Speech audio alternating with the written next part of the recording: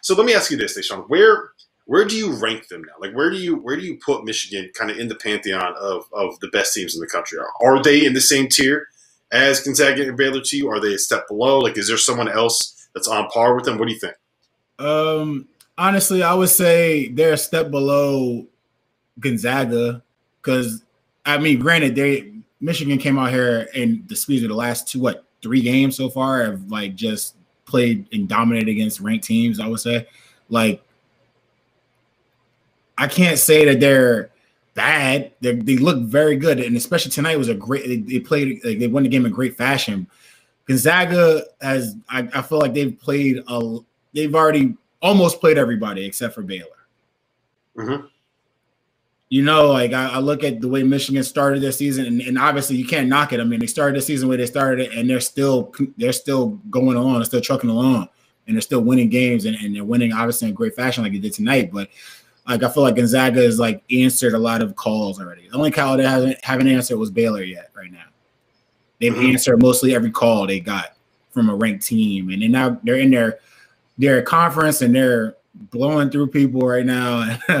and now we get to watch Michigan and we get to watch Baylor play through the competition, and they're playing well, but it we'll never know what they'll like in comparison to one another until they meet up because I I, I the the scale is different now. Like you know, mm-hmm. I feel like Gonzaga's already played their hard part of the season. Not to knock their conference, their conference is not bad, but it's not the Big Twelve and it's not the Big Ten.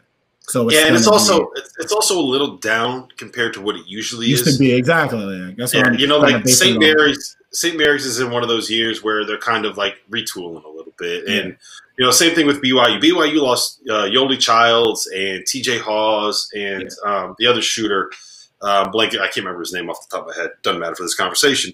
Um, but yeah, I mean, it's it's they're going to kind of roll through everything that they see in the WCC. Um, so it's going to be tough to gauge them moving forward. And, of course, we're going to hear all the same talking points when it comes to, oh, Baylor or oh, Gonzaga doesn't play anybody in league play, blah, blah, blah, blah, blah, whatever. Mm-hmm. Um, in terms of how I would rank them, I think that Gonzaga is in a, a tier of their own. You know, I, as much as I love this Baylor team and as much as the metrics love them, um, I, I, just think that you look up and down that, that Gonzaga roster and they have uh, the number one, uh, potential number one pick in the country in Jalen Suggs who's probably not, not going to be the player of the year uh, on this team. That's probably yeah. going to end up being Corey Kispert, who could be like a top 10 pick in, in his own right. Drew Timme's going to end up playing in the NBA and is the perfect five man for what they want to do. Uh, they have a guy that was a former five star that's in his third season that started for two years in the SEC, coming off the bench, and Andrew Joel Ayayi is going to end up playing in the NBA or a very high level overseas and be on the French national team at some point, and he is their fourth or fifth leading scorer, got a triple double earlier this year. And Anton Watson is just kind of like the perfect fit for a glue guy at the four. Same thing with some of their guards and their grad transfers off the bench. Like, I think when it's all said and done, I, I do believe that Gonzaga is going to end up going undefeated. And I do think when it's all said and done, we are going to have the conversation of whether or not they are uh, as good or better than like 2018 Villanova, 2012 Kentucky, like teams of that. I, I think that they're going to end up being in that conversation. Question: um, yeah, yeah. Do you think there will be a dip off because of the teams they're playing in their conference? Like I'm, you, I'm I, know, I know you heard the, the steel sharpen steel conversation and everything like that with Baylor and Michigan and any other team that is uh, in these, you know, Power Five conferences, like they're going to be playing against each other. You know, obviously every two days, so on and so forth. And then we're going to get to the end of the season. They're going to have the conference tournament. They're going to be playing against each other. And then all of a sudden, now we get to the tournament, and Gonzaga has played uh, a different schedule for the last 10 games. Now, obviously, we've watched Gonzaga go into the tournament, and it didn't matter in either way. They, they wake up and yep. you know what I mean. They they wake up and play. But do you think that this year could be an issue, being asked how the year's going? That it's they not, can't, they won't be able to wake up against these teams that are playing against competition. Wake up like you to see teams that we're we're watching Wisconsin go like take a small tank for a second with this game, but then sooner or later towards the end of the season they'll pick it back up. Like that's yep. Wisconsin will pick it back up. So they'll they'll take their little small dip, and then we used to have that conversation when I was in college. It's like I'd rather play really well during the year, I mean all year, of course, but if we're gonna play well during the year and then have like the end of January, early February to have our like mishaps, as long as we pick it up by the time we get toward the end of February and March, we're all good. Like I have no problems. Yeah. It's because it's one of those things where like when you're in league play, eventually someone's going to kind of figure out what you do. They're going to get it exactly. on team. It's going to work against one team. Then the next two or three teams you play are going to start doing that same thing against you. Then you have to make that adjustment and figure out how you can make a counter to what they're doing. And you kind of go through those like those waves throughout a season.